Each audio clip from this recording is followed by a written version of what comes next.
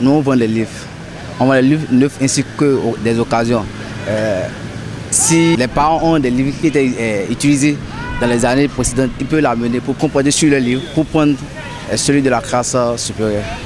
Vous voyez qu'on est nouveau ici, on doit courir. Et il faudrait que tu sois le premier, peu importe le rang que tu occupes. Et on vend entre nous. Et puis, ce n'est pas une seule personne qui vend. on se partage pour, pour, pour vendre aux clients.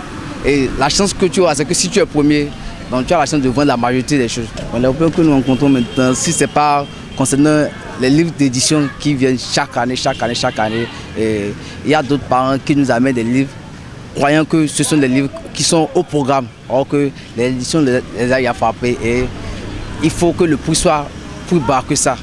Et chaque édition, les prix sont haussés. Nous sollicitons les parents à vite sortir pour prendre le document en ce temps-ci. Sinon, vous savez, quand la demande serait plus que l'offre, le prix augmente. Il y a certains parents qui savent qu'à chaque fin d'année, comme d'habitude, ils viennent échanger des documents d'une classe inférieure contre une classe supérieure. C'est-à-dire, euh, quand ils vont passer d'une classe à une autre classe, les parents savent qu'ils vont amener les anciens documents pour échanger contre d'autres documents.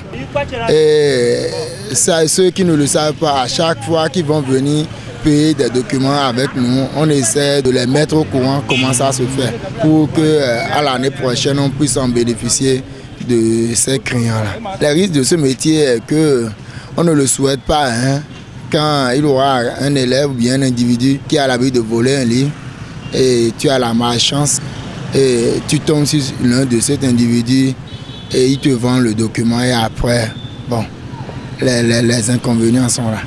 Mais à chaque fois, euh, on essaie de l'éviter au maximum. Et la manière la plus simple, c'est de ne pas prendre les documents avec les élèves. Surtout quand c'est des enfants qui amènent des livres d'une classe supérieure. On essaie de se poser la question si effectivement le livre est pour lui. Soit on garde le livre, on demande après ses parents. Il y a certains, qui viennent effectivement avec les parents, mais par contre d'autres, euh, ils s'en vont définitivement. À la place bah, ici, tout le monde sait que euh, quand on va parler en matière de livres, c'est une place reconnue. Tout le monde sait qu'à la place Bayol, bon, on trouve la majorité des libraires. Nous, nous sommes libraires par terre. En plus de nous, il y a encore d'autres librairies hein, reconnues. Bon, ici, on se, on se peine, on se peine pour trouver les clients. On se met bon, dans une euh, lutte. Hein. C'est une lutte. Et c'est ceux qui sont habitués qui gagnent ces luttes-là. Concernant les livres, nous, nous sommes là pour aider les parents d'élèves en échangeant les livres c'est-à-dire ceux-là qui passent eh, en classe supérieure, ils amènent les livres, puis on échange contre la classe et puis ils complètent l'argent. C'est ce qu'on fait.